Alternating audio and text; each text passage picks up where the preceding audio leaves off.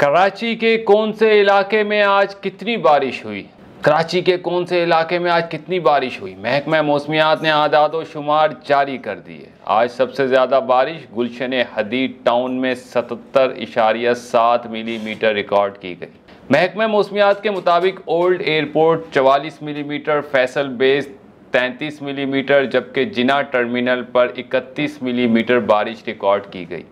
महकमा मौसमियात की जानब से जारी करदा इदाद शुमार के मुताबिक आज कराची के यूनिवर्सिटी रोड अट्ठारह इशारिया चार मिली मीटर कायदाबाद ग्यारह मिली मीटर और किमाड़ी के इलाकों में तीन मिली मीटर बारिश रिकॉर्ड की गई। महकमा मौसमियात के मुताबिक गुलशन मैमार दो इशारिया एक मिली मीटर मसरूर बेस में दो मिली मीटर बारिश रिकॉर्ड की गई। महकमा मौसमियात के मुताबिक कराची में सबसे कम बारिश नॉर्थ कराची में ज़ीरो इशारिया पाँच मिली मीटर रिकॉर्ड की गई।